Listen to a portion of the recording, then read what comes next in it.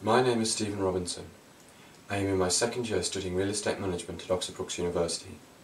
I enjoy running, rowing, and consider myself to be very sociable. At university I've been employed as a student ambassador, promoting my course on open days, giving tours, and acting as a student member on interviewing panels alongside members of staff assessing new upcoming students interested in the course. I was selected for this role as I am confident, organised, easy to talk to and reliable. Last summer I spent some time with the Newcastle branch of GVA Grimley, where I was able to gain further insight into the different departmental roles of a surveyor. My experience there was challenging, diverse, interesting and enjoyable. This opportunity would therefore allow me to expand my knowledge on the competitive world of surveying, furthering my ambition to pursue a career in property.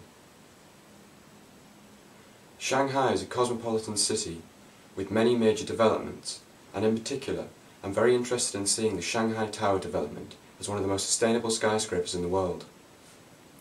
I like meeting and interacting with people, and I'm always on the lookout for new challenging experiences. I hope that you consider me for this exciting and fantastic opportunity, and I'd like to thank you very much for listening.